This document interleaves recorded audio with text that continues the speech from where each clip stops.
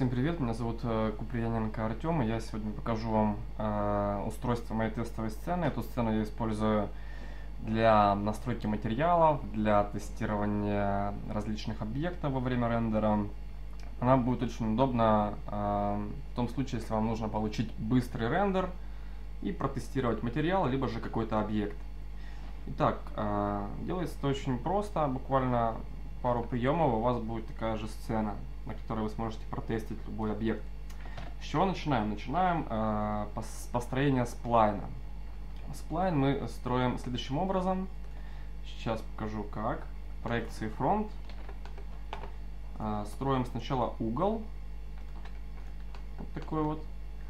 А после этого делаем угол округлым. То есть выбираем точку, далее функция fillet, и филетом скругляем угол. Тем самым мы будем имитировать э, э, условия фотостудии. То есть, если вы обращали внимание, при предметной э, фотосъемке у нас нет четкого угла. А если кто-то был в студии, то он наверняка мог заметить, что все фоны имеют скругление в этой части. Итак, построили э, сплайн, далее модификатор extrude,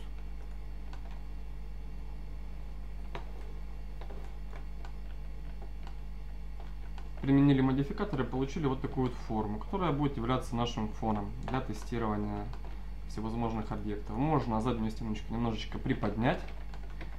А, почему? Потому что объекты могут быть разного размера и разной формы. И, э, лучше, конечно же, иметь какой-то запас как по высоте, так и по длине. После этого я устанавливаю камеру. Камеру я ставлю в режиме топ.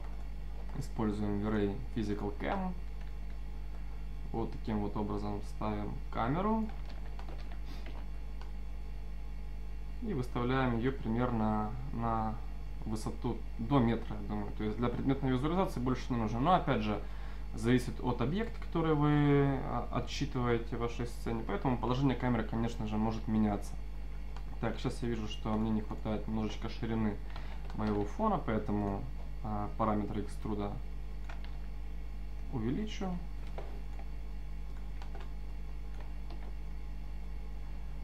Примерно так это выглядит. А, все объекты я тестирую а, со следующим типом освещения. То есть я покажу два типа. А, первый тип будет основан на подсвечивании объектов с помощью HDR карты. И второй тип будет э, имитировать, по сути, ситуацию при предметной визуализации в фотостудии. Итак, первый вариант – это вариант работы с HDR картой. Честно говоря, мне он нравится немножко больше. Он дает более интересный свет – но э, есть вариант, когда э, уместен будет именно свет искусственный, то есть имитация софтбокса, когда нужно проявить блик, когда э, нужно более, скажем так, акцентированно рассмотреть работу материале на спекуларе, на блике. Итак, э, HDR карта подгружается несложно, у меня уже есть на эту тему видеоуроки, я думаю, вы можете посмотреть. Создаем новый материал, подключаем V-Ray HDRI шейдер. Выбираем HDR карту. Раскладываем ее в режиме Spherical. Мультиплеер. Делаем соответствующий мультиплеер, как вы уже знаете, понимаете, зависит конкретно от каждой карты. И эту карточку вешаем на environment. То есть ну, способов применения э, несколько карт. Ну вот мне, честно говоря, удобнее всего в environment ее э, ложить. Мне кажется, что самый простой, самый понятный способ, если мы говорим о короне рендер. В V-Ray, в принципе, все то же самое, только э, если мы рендеримся V-Ray, карту э, можно положить как на environment, так и на, на environment V-Ray внутренний, то есть все галочки включаем и точно так же drag and дробом переносим нашу карту в режиме instance в стеке V-Ray. Мы будем отчитывать сцену V-Ray, э, короной, поэтому я включаю корона рендер. Э, создаю материал. Э, этот материал будет белым, потому что фон отсчитывается ну, фон, как правило, фотостудии, он имеет белый цвет, и для того, чтобы протестить объект, либо э, материал, лучше всего использовать как раз таки нейтральный белый цвет. Поэтому color делаем белый, 250, 255, 255, 255 можно поставить. И э, для белого используем параметр levels 0.85. Это так называемое альбедо. То есть э, смысл в чем? Смысл в том, что нет абсолютно белых э, объектов в мире. И 255, 255, 255 значение дает абсолютно белый цвет, что в принципе невозможно. А параметр 0.85 компенсирует его, в альбедо, так называемый. То есть мы получаем не абсолютно белый а такой слегка сероватый оттенок, что э, является физически корректным. Применяем этот материал и далее можно импортировать объект в сцену. Объект импортируется очень просто, обычным мерджем э, в сцену. И что мы получаем? То есть при нажатии кнопки рендер на клавиатуре мы видим вот такой вот результат.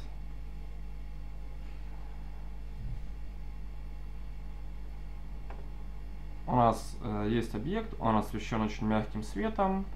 У нас есть э, такой теплый рефлекс от HDR карты, что в принципе очень э, неплохо показывает работу шейдера и непосредственно саму модель. Э, HDR карты бывают разные. Сейчас использована экстерьерная карта.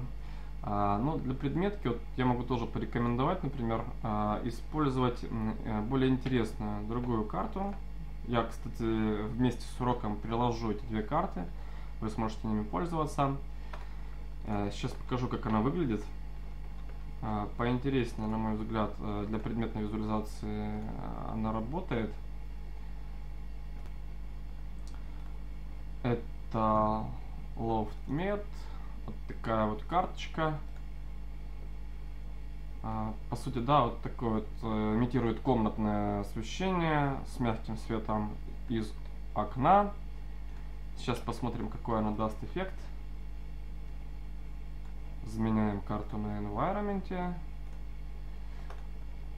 И давайте просчитаем все еще раз.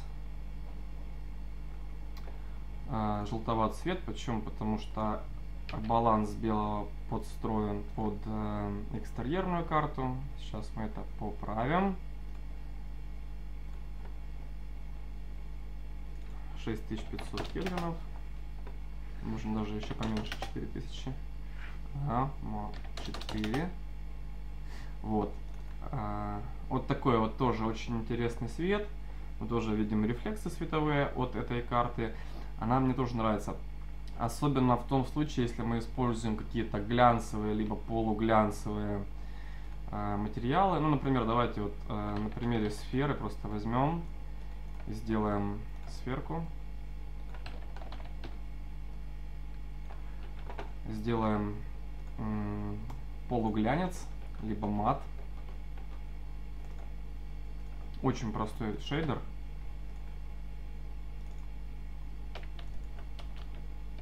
ну, например, с такими параметрами.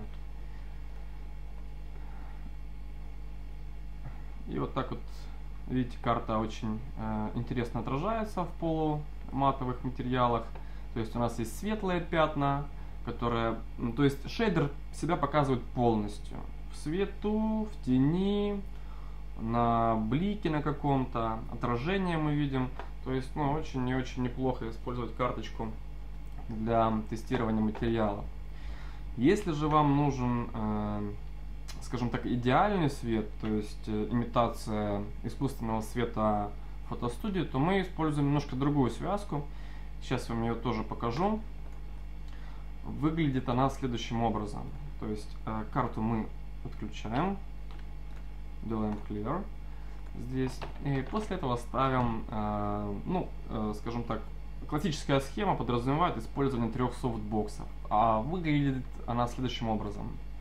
Заходим в источники света, выбираем э, корону. Кстати, для V-Ray все то же самое, если кто-то рендерит с V-Ray, просто название источника света другое, а схемы постановки света и настройки мультиплееров, они практически идентичны. Это, кстати, одна из причин, почему переход на корону с Вирея очень простой, очень быстрый. То есть буквально день-два человеку нужно для того, чтобы перейти с Вирея на корону. А, итак, корона Light, режим Rectangular. Ставим один софтбокс. Где-то под, можно вот так вот под углом 80 градусов к объекту. Над ним, естественно. Ставим второй софтбокс. Copy.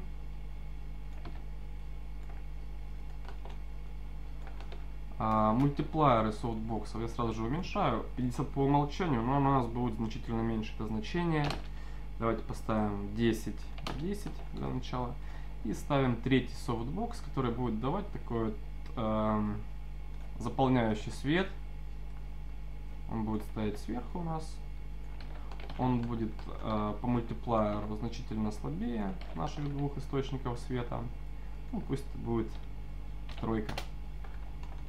Вот такая вот студийная постановка света для того, чтобы протестировать модель или же материал. Давайте посмотрим, как это выглядит на рендере. Не исключаю, что сейчас нам придется немножечко подстроить параметры экспозиции и температуры цветового баланса. Вот такой вот совершенно э, мягкий белый свет. Я точно так же могу увидеть блики. Давайте немножко компенсируем пересвет. Двойку поставим. Да, отлично. А, свет рассеянный, а, очень мягкий. То есть э, эта схема неплохо подходит для предметной визуализации.